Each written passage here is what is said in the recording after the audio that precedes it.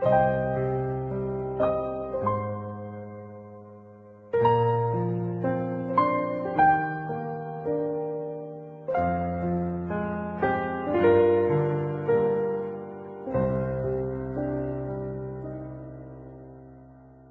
hôm nay là lần đầu tiên cũng là lần đầu tiên tụi con tới với lại uh, với các cụ. Thì uh, con cũng xin uh, gửi tới các cụ uh, một vài bó bông.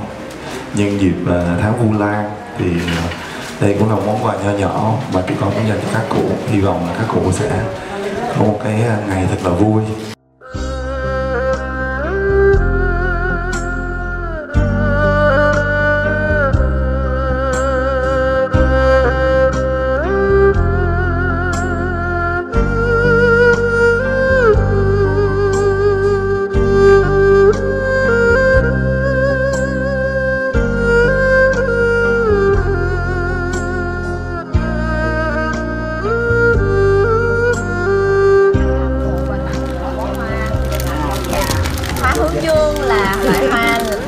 Trưng cho mặt trời.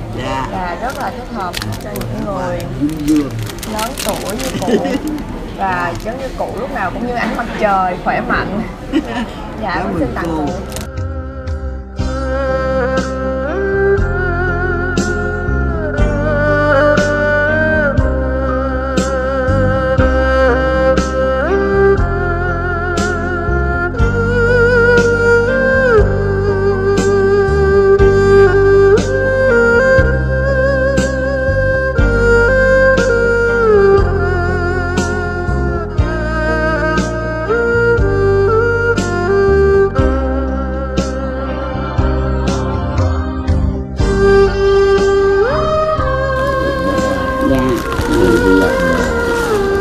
cái niềm vui nho nhỏ dành cho cụ để ờ, cụ có thể ờ, ờ, cảm thấy ờ, yêu đời. Đó, cảm thấy là vẫn còn nhiều cái niềm vui ngoài kia. À, tôi ờ, xin à, có đôi lời à, cảm ơn đoàn đã đến à, thăm viếng chia sẻ yêu thương với à, chị em chúng tôi và tặng cho chúng tôi những món quà thật là to lớn.